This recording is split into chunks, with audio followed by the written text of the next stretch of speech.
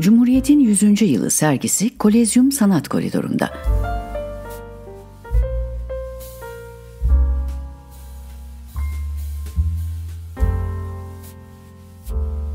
Acarlar Şirketler Topluluğu mekan sponsorluğunda gerçekleştirilen Cumhuriyet'in 100. yılı sergisi 8 Kasım tarihine kadar Acarkent Kolezyum Sanat Koridoru'nda gezilebilir.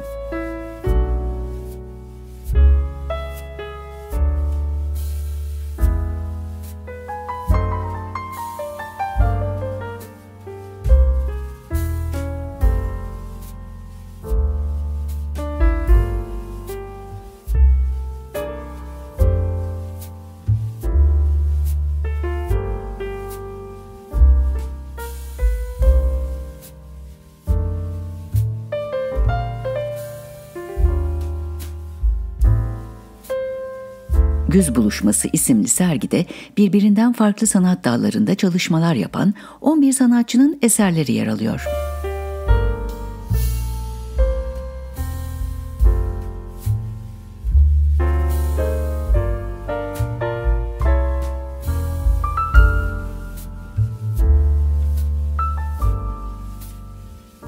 Ünlü ressam Kemal Kara'nın Paşalar serisinden 3 eseri ise Sanat Koridoru girişinde serginin açılışını yapıyor.